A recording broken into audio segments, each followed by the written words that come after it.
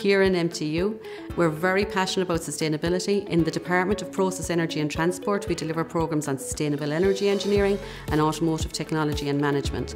In sustainable energy engineering, we're very focused on thermodynamics, mechanics, and renewable energies, looking at hydro energy, ocean energy, wind energy, solar energy, and really passionate about what we can do in terms of sustainability for the planet and that idea of enough for all forever. I co-lead a research group that's affiliated with the department, Meso Research, and that has about 20 plus members at the moment working on various different sustainability based or energy based research projects. So the group broadly is focused on various different challenges and problems that we have at you know, societal level currently around the energy challenges and, and the climate challenges that are facing us. So a lot of our projects are related to sort of mechanical, thermal and fluid systems and renewable energy systems and looking at optimizing their performance or evaluating you know, how we can improve those and better address the problems that are facing us uh, you know, in the medium term. One of our projects is the NBERT project. Uh, it was originally called Zero 2020. It was a refurbishment project we did at MTU. We finished that in, in 2012 and it involved refurbishing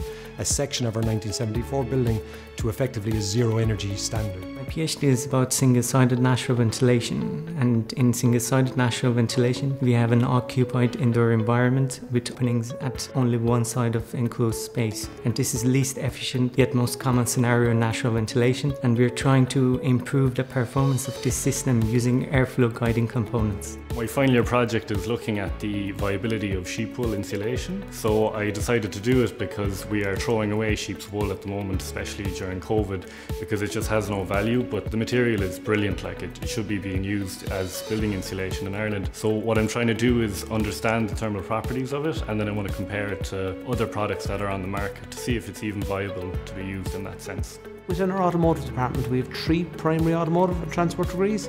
So we have an automotive degree in technology, an automotive degree in business management, and a transport management degree. Across the range, we have a big emphasis on sustainability, whereas on three different degrees, we cover sustainability from three different aspects, from more of a technical side to a technology side, leading into sustainable management and how we can build a greener future together.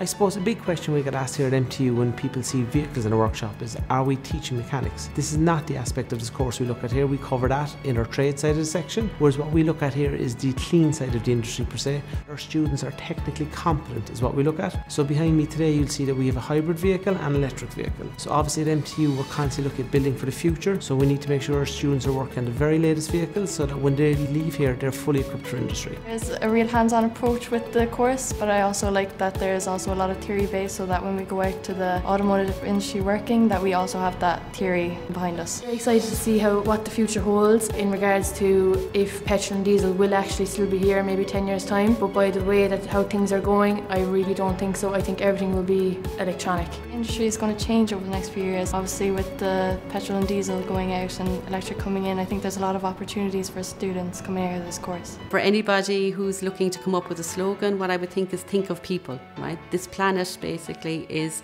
something we're trying to preserve for the people in it but we also need the planet for everything else that's in it but fundamentally I think sustainability is about people, right? And about people recognizing the challenges that they have to keep this planet here. And that means looking at a number of different things. And therefore, there's something called the Sustainable Development Goals, which are brilliant. There's 17 of them. And if students looked at them, they might get some inspiration of where to go with their ideas. I would certainly recommend any student who's looking at it, maybe possibly coming up with a slogan or a campaign to embrace change. Our complete industry is embracing change. By 2035, it would not be possible to buy a new, a new vehicle with a petrol engine. So we will embrace change, we will embrace autonomous. So I would say to students, look at this as a blank canvas, embrace the opportunity, embrace the challenge, and put the best foot forward.